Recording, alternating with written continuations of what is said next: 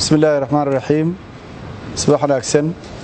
Maanta oo sabti ah oo taariikhda bisha meyna ay laba tahay waxaanu joognaa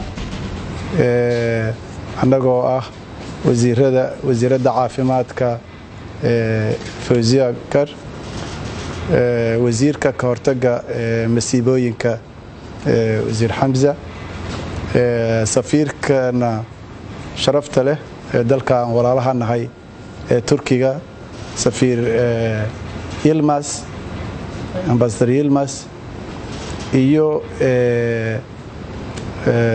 shaqaale badan ee wasaaradda caafimaadka wasaaradda ka hortaga masiibooyinka wasaaradda arrimaha dibadda ah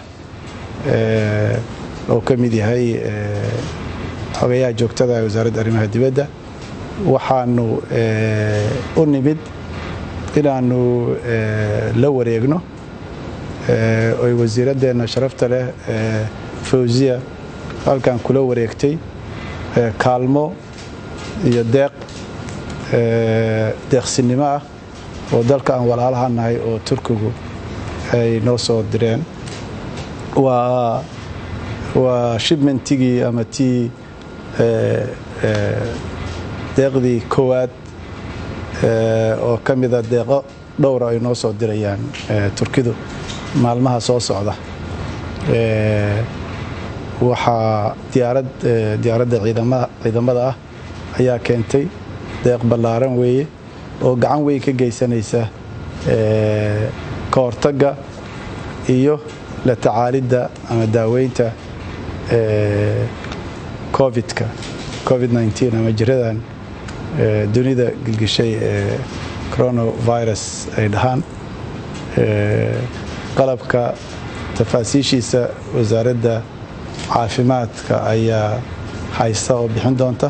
Waxaase ka mid ah qalab sida ventilators waxaa ka mid ah qalabka lagu baaro ventilatorska waa mashiinada dadka siiya maxaa la yidhaahdaa ku kaalmeeya neefsashada. Waxaa kaloo ka mid ah qalabka la ysku baaro kalkaaliya waxyaabahan auxilariga la yidhaahdo oo gacan ka geysta iyo qalabka loo laysaga qalabka hortegid jirada nafteeda. Marka waxaan anigoo ku hadlaya magaca shacabka soomaaliyeed iyo xukuumadda soomaaliyeed magaca madaxweynaha iyo ra'iisul wasaaraha iyo magaca saaxiibadayda wasiirada aan halkan isla joogno oo saaka soo dheelmaday waxaanu u mahadnaqaynaa dowladda turki iyo ambasadoorkeeda sharafta leh iyo shacabka turki xukuumad iyo